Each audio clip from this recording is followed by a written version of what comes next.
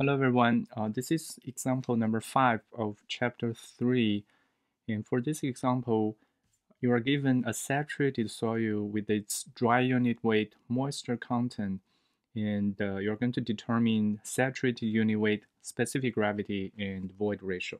So saturated unit weight gamma saturated GS specific gravity and void ratio E. And for this problem, again, we are going to use the phase diagram to solve this problem. So this is a saturated soil. So the first step when drawing phase diagram is to determine the correct number of phases. For saturated soil, there are two phases, solids and water. And then we're going to complete the weight and volume sides of this phase diagram. So we have weight, and this is in pound and then we have the volume side and this is in uh, cubic foot. Okay. So we're going to first complete this phase diagram then calculate these quantities. Okay. for this example here everything is given in term of ratios. So dry unit weight is ratio moisture content is ratio and all the unknowns are ratio. As i mentioned if everything is given in term of ratio it is safe to assume the volume of the solid is 1 or the total volume is 1. So for this example, I am going to assume the total volume is 1. So this time, we're going to assume this total V is 1, okay? Because everything is given in terms of ratio. And this problem can be solved equivalent, equivalently by assuming Vs equals to 1. So it's the same. So here, once you assume the total volume is 1, then the next quantity you can figure out on this phase diagram is the weight of solids. So note that the given dry unit weight is defined as weight of solid over total volume. And since we are assuming total volume is 1, then weight of solid is basically gamma D total volume is 103. Okay. So this is um, pound. Okay. So we know that weight of solid is 103.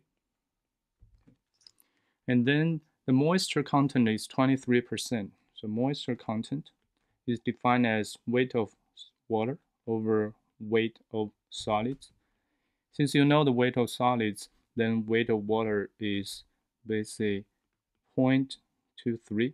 So that's a moisture content times weight of solids is 103. So this is 23.7. Okay.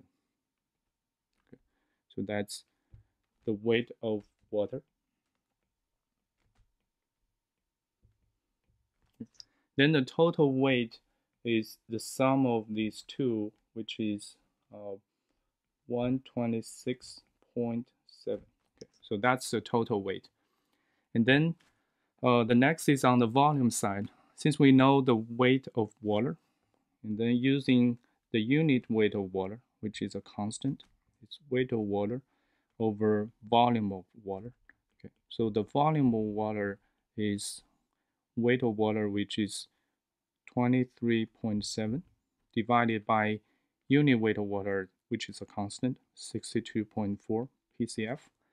And the volume water is 0 three eight zero. Okay. So that's the volume of water. So this is point three eight zero. And then the um, volume of solids is total minus volume of water. So that's 0.620. Okay. So that's a completed phase diagram. So we have found the weights and volumes for all phases. And then the next, to calculate these unknown quantities, we just use the basic definitions. Okay, so we start with part A, the saturated unit weight, gamma saturated. By definition, total weight over total volume. So it's, uh, if we plug in numbers, 126.7. And don't forget the unit is PCF. Okay. And uh, volume water here is cubic foot. And then specific gravity, GS, is by definition gamma S over gamma water. So unit weight of solids over unit weight of water. So that's Ws over Vs, so that's gamma S. Then gamma water is a constant. And if you plug in numbers here, so gamma uh, Ws is 103. And volume of solids, 0.620 times 62.4. Okay.